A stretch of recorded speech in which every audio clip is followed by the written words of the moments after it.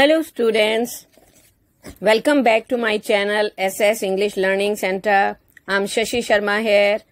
Uh, today I will tell you about the writing skill. So in writing actually the three are the main things. Speech, debate and report writing. Today I will tell you about speech writing. Now what is speech? A speech is a formal address delivered to an audience on any given topic. It expresses the speaker's viewpoint along with supporting facts and evidences. It also expresses the viewpoints of the others on the topic.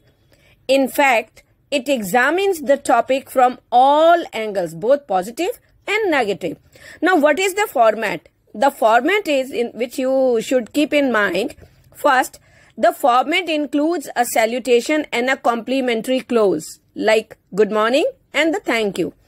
It begins with a formal greeting like good morning followed by an acknowledgement of the guests, fellow speakers and the audience.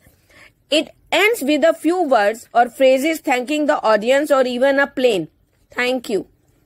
Now, then the second point comes the introduction. The introduction has to be brief and catchy. It could be an anecdote or a story, story that catches the attention of the audience, you can use even the slogans.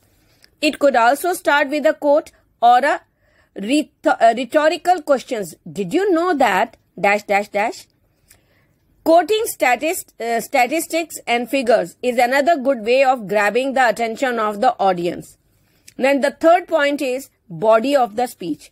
The body of the speech should be divided into clear paragraphs about 4 5 dealing with the different aspects of the speech. The paragraphs should discuss the problems, stating, stated in the question, the causes and the effects, and finally the sol solutions. Each paragraph should contain a single main idea with supporting examples or evidence to prove your point. Don't mix too many points in one paragraph as that will confuse the reader.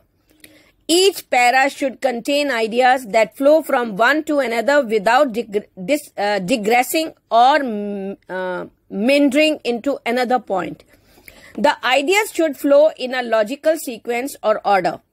It can have a conversational tone with interactive expressions like, uh, I'm sure you will agree with me when I say that dash dash dash. Now, it also has to have clarity about its purposes and who got the target audience is. Original ideas, powerful language and humor all add to the impact of the speech. Use simple language and short sentences. Avoid the use of long-winded sentences and difficult vocabulary. Always keep to the word limit mentioned in the question. Usually that is 150 to 200 words. The last is conclude the speech reiterating your views on how to improve the situation and then either a suitable quote or even a simple thank you. Now this is what you should keep in mind for writing a speech. I will be back again with another uh, video on debate. Till then, bye. Be safe. Thank you.